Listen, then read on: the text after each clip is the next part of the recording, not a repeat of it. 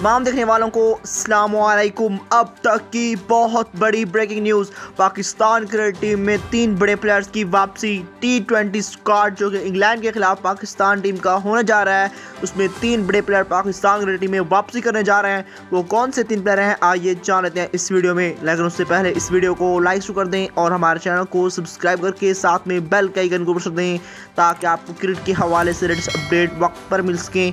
तो फ्रेंड्स पाकिस्तान और इंग्लैंड की टीमों के दरमियान जो चार टी ट्वेंटी मैच की series T twenty World Cup से एन कबल मई के मंथ में खेली जाएगी तो उसके लिए पाकिस्तान क्रिकेट टीम के स्क्वाड में तीन प्लेयर प्लेयर्स की वापसी होने जा रही है, जिसमें नंबर वन पर जो नेम है वो अहमद शहजाद का नेम है।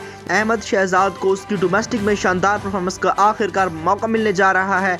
और दूसरा बड़ा नेम जो है, वो है मोहम्मद हारिस। पाकिस्तान के ओपनर बल्लेबाज मोहम्मद हारिस पाकिस्तान क्रिकेट टीम में वापसी करने जा रहे हैं और पी एस एल नाइन में अच्छे परफॉर्मेंस दिखाकर वो पाकिस्तान के टी ट्वेंटी स्क्वाड में वापसी करेंगे। और टी ट्वेंटी वर्ल्ड कप 2024 के लिए भी पाकिस्तान के स्क्वाड का हिस्सा होंगे।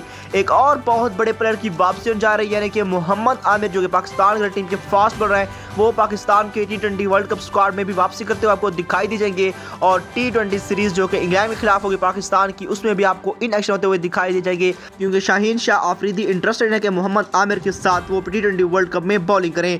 तो फ्रेंड्स आपके ख्याल से पाकिस्तान के T twenty World Cup squad में किन प्लेयर की वापसी चाहिए? अपने का इजहार कमेंट बॉक्स में कर दीजिएगा।